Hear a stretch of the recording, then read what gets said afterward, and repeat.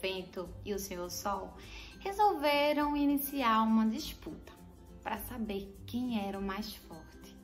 Eles tentaram realizar diversas competições, mas nunca chegavam a uma conclusão. Aí o sol avistou um viajante logo de longe, caminhando e disse: Já sei! Vamos fazer uma disputa para ver quem consegue retirar o casaco do viajante. Aquele que conseguir retirar o casaco do viajante vai ser comparado ao mais forte. E você, senhor vento, pode começar, pode ser o primeiro. O vento começou a soprar muito forte.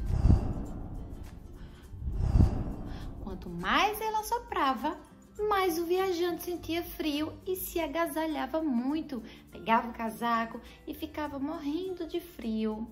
No final, o vento cansado desistiu. Então chegou a vez do sol. Ele subiu até o céu e brilhou, brilhou muito, com toda sua beleza.